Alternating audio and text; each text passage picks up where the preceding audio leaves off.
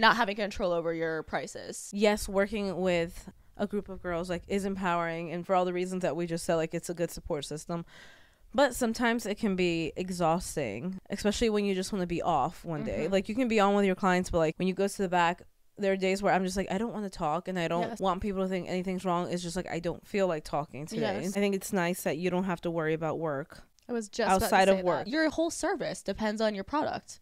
Yeah. And it's really, really nice for that. I don't have to think about it at all. It's like the benefits and being W two, so you know that you don't have to set aside money for taxes. Mm. Instead, they just steal it from you every paycheck. Yeah.